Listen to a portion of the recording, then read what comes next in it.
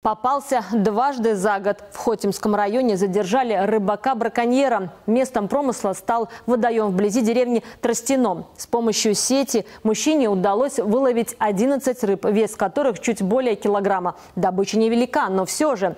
Была она упакована в пакеты и спрятана в камышах. Защитники флоры и фауны оценили ущерб, нанесенный природе, в 270 рублей. Отмечу, что даже столь небольшие суммы и улов могут обернуться для рыбака уголовным делом в связи связи с повторным нарушением. Нарушитель в этом году уже привлекался к административной ответственности. Судом Хотимского района в апреле месяце 2018 года на него было наложено административное взыскание в виде штрафа. Учитывая это обстоятельство, в связи с тем, что правонарушение в 2018 году совершено повторно, на место совершения нарушения была вызвана следственная оперативная группа Хотимского РОВД.